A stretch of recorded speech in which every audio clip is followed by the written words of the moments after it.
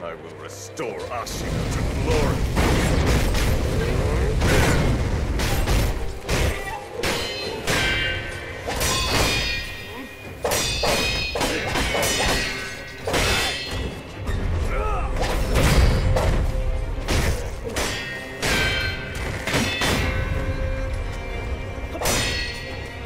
I will not allow Ashina